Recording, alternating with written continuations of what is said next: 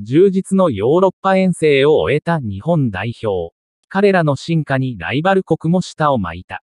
現地9月12日にベルギーのヘンクで行われた親善試合で日本代表はトルコ代表と対戦して4-2と快勝。これで今月9日のドイツ代表戦から2連勝となり、敵地に乗り込んだ代表シリーズは大きな収穫を得る形となった。動画、トルコを撃沈させた豪快弾。怒涛のゴールラッシュのハイライトをチェック。4-1で衝撃的な干渉を収めたドイツ戦から先発10人を入れ替えるフレッシュな布陣で臨んだ日本は、トルコを相手に躍動した。15分に伊藤敦樹の代表初ゴールで幸先よく先手を取ると、28分と36分に中村圭斗が決めて、序盤から主導権を握った。その後に1点差にまで詰め寄られた日本だったが、79分に伊藤純也が PK による追加点を決め、トルコをどけた。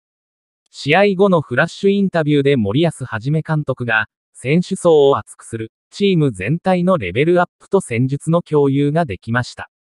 苦しい時間もありながら、選手たちが良い経験を積んでくれました、と手応えを口にしたように、チームの成長を感じさせる90分だった。日本の成長は確かに数字にも現れている。直近5試合で4勝1敗と大きく勝ち越しに成功。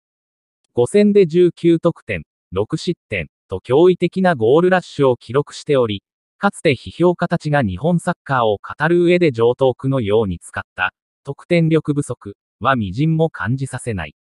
まさに絶好調のサムライブルーには、永遠のライバルのメディアも脱帽する。韓国のスポーツメディア、王戦は、日本は凄まじい破壊力を誇示した、とドイツ戦に続く4得点を絶賛。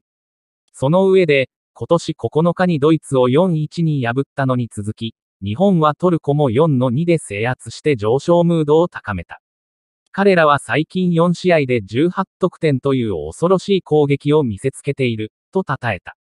また、同じく韓国のニュースメディア、入選はトルコ戦の日本が大幅なメンバー変更を行った点について、なんと彼らは10人も先発を入れ替えた。しかも、そのうち2人は A マッチデビューの選手だ。にもかかわらず、トルコを完全に打ち砕くことに成功した、